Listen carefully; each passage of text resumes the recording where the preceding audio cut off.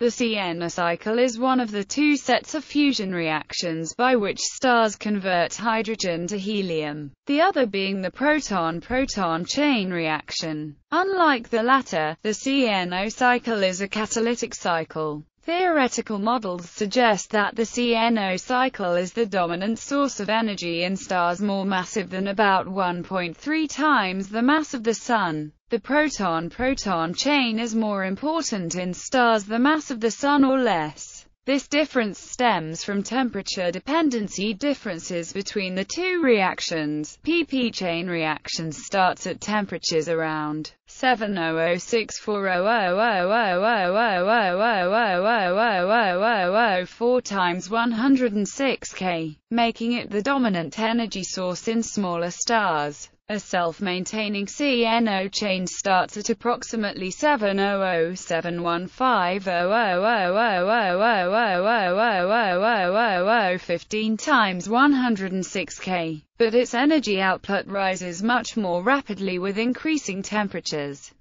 times 106 K, but its energy output rises much more rapidly with increasing temperatures. At approximately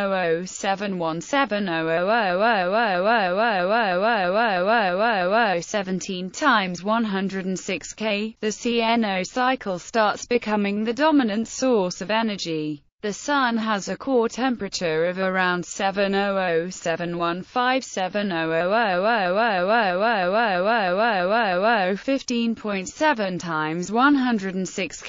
700715700000000000000000000000000000000000000000000000000000000000000000000000000000000000000000000000000000000000000000000000000000000000000000000000000000000000000000000000000000000000000000000000000000000000000000000000000000000000000000000000000000000000000000000000000000000000000000000000000000000000000000000000000000000000000000000000000000000000000000000000000000000 1.7% of 4 He nuclei produced in the Sun are born in the CNO cycle. The CNOI process was independently proposed by Carl von Weizsäcker and Hans Bethe in 1938 and 1939, respectively. In the CNO cycle, four protons fuse, using carbon, nitrogen and oxygen isotopes as a catalyst, to produce one alpha particle, two positrons and two electron neutrinos. Although there are various paths and catalysts involved in the CNO cycles, simply speaking all these cycles have the same net result. 411H plus 2E minus 42He plus 2E plus plus 2E minus plus 2 nu E plus 3 gamma plus 24.7 MeV 42He plus 2 nu E plus 3 gamma plus 26.7 MeV The positrons will almost instantly annihilate with electrons, releasing energy in the form of gamma rays.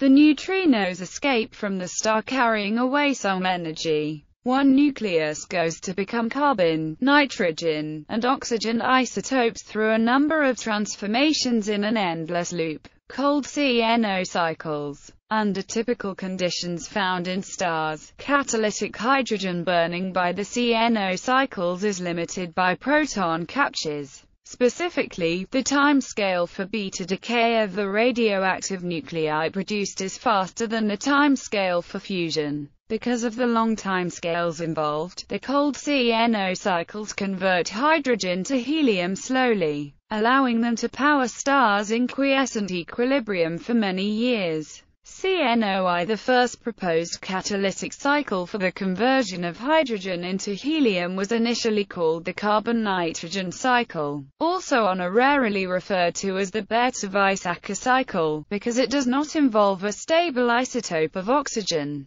Bethe's original calculations suggested the CN cycle was the Sun's primary source of energy, owing to the belief at the time that the Sun's composition was 10% nitrogen. The solar abundance of nitrogen is now known to be less than half a percent. This cycle is now recognized as the first part of the larger CNO nuclear burning network. The main reactions of the CNOI cycle are 12,6C13,7 13,6C14,7 15,8O 15,7N12,6C, where the carbon-12 nucleus used in the first reaction is regenerated in the last reaction. After the two positrons emitted annihilate with two ambient electrons producing an additional 2.04 MeV. The total energy released in one cycle is 26.73 MeV. It should be noted that in some texts, Authors are erroneously including the positron annihilation energy in with the beta decay Q value and then neglecting the equal amount of energy released by annihilation, leading to possible confusion. All values are calculated with reference to the Atomic Mass Evaluation 2003. The limiting reaction in the CNOI cycle is the proton capture on 147N.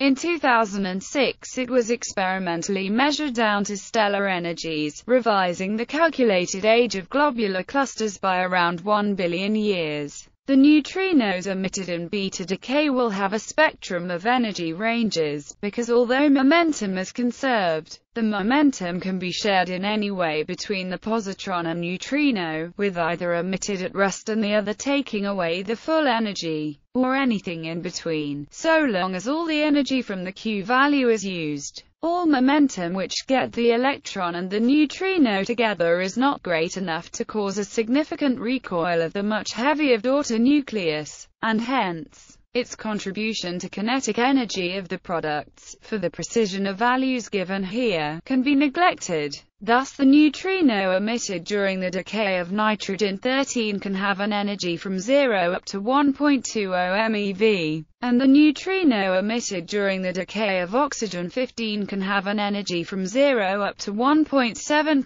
MeV. On average, about 1.7 MeV of the total energy output is taken away by neutrinos for each loop of the cycle, leaving about 25 MeV available for producing luminosity. CNO2 in a minor branch of the above reaction, that occurs in the Sun's core 0.04% of the time. The final reaction involving 15-7N shown above does not produce carbon-12 and an alpha particle, but instead produces oxygen-16 and a photon and continues 15-7N 16A2 17-9F 17-80 14-7N 15-80 15-7N. Like the carbon, nitrogen, and oxygen involved in the main branch, the fluorine produced in the minor branch is merely an intermediate product and at steady state, does not accumulate in the star. CNO3 This subdominant branch is significant only for massive stars.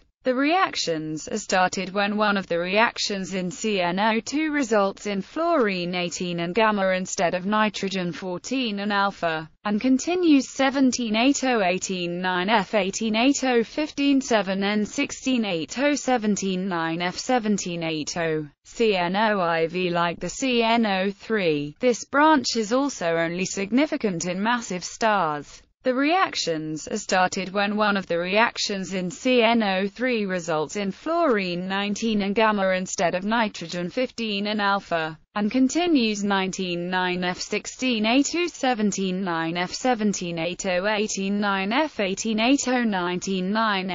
Hot CNO cycles under conditions of higher temperature and pressure, such as those found in novae and X-ray bursts. The rate of proton captures exceeds the rate of beta decay, pushing the burning to the proton drip line. The essential idea is that a radioactive species will capture a proton before it can beta decay, opening new nuclear burning pathways that are otherwise inaccessible. Because of the higher temperatures involved, these catalytic cycles are typically referred to as the hot CNO cycles, because the time scales are limited by beta decays instead of proton captures. They are also called the beta-limited CNO cycles. HCNOI The difference between the CNOI cycle and the HCNOI cycle is that 13-7N captures a proton instead of decaying leading to the total sequence 12-6C 13-7N 14-80 14-7N 15-80 15-7N 12-6C HCNO2 The notable difference between the CNO2 cycle and the HCNO2 cycle is that 17-9F captures a proton instead of decaying. And neon is produced in a subsequent reaction on 18-9F, leading to the total sequence 15-7N 16-8-0-17-9F 18-10 Ni 18-9F 15-8-0 15-7N. HCNO3 An alternative to the HCNO2 cycle is that 18-9F captures a proton moving towards higher mass and using the same helium production mechanism as the CNOIV cycle as 18-9F 19-10 Ni 19-9F 16-8-0 17-9F 18-10 Ni 18-9F.